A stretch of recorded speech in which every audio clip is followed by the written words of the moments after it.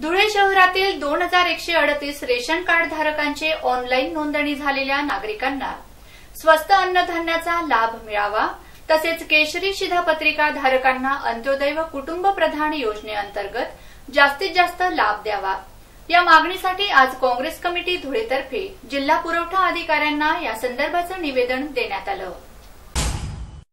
प्रस्तुत निवेदनात म्हटले आहे की धुळे शहरात गोरगरीब मजूर यांची संख्या अधिक आहे. व त्यांचे आर्थिक उत्पन्नही खूपच कमी आहे. त्यामुळे त्यांना अंत्योदय व कुटुंब प्रधान योजनेअंतर्गत जास्तीत जास्त लाभ मिळावा. त्यात दोन हजार एकशे अडतीस शिधापत्रिका धारकांचे ऑनलाईन नोंद झालेली असूनही त्यांना अनेक वर्षांपासून स्वस्त धान्याचा लाभ मिळत नाही.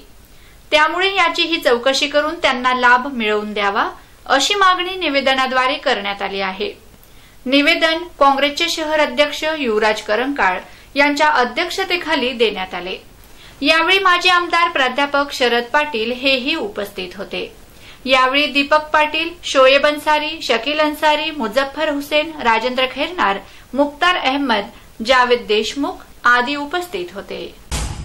त्यांना गरज आहे आणि त्यांना रेशनची आवश्यकता आहे. अशा गोरगरीब लोकांसाठी आम्ही माननीय पुरवठा अधिकारी साहेब यांना निवेदन देण्यासाठी आलो आहे आम्ही या ठिकाणी तीन ते चार हजार लोकांनी नोंदणी केलेली आहे.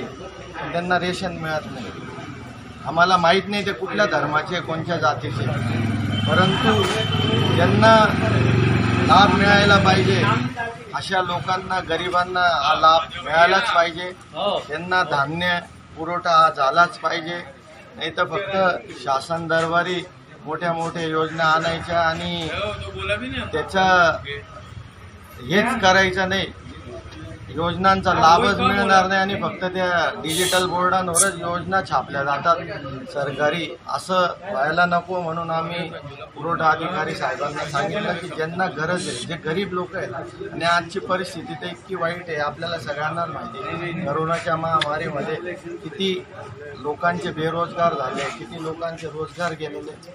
आणि काही लोक तर बिचारे आत्महत्या करतात जे स्वाभिमानी ते तर कोणापुढे हात फैलावत नाही. असे लोक तर उपाशी पोटी झोपून राहतात. असे पण लोक या धर्तीवर आहेत. म्हणून ज्यांना खरंच गरजेचं आहे लाभ मिळायला पाहिजे अशा लोकांना त्वरित लाभ मिळावा. असे मी आम्ही त्यांना धुळे शहर जिल्हा काँग्रेस कमिटीच्या वतीने आम्ही त्यांना निवेदन दिले आणि विनंती केली.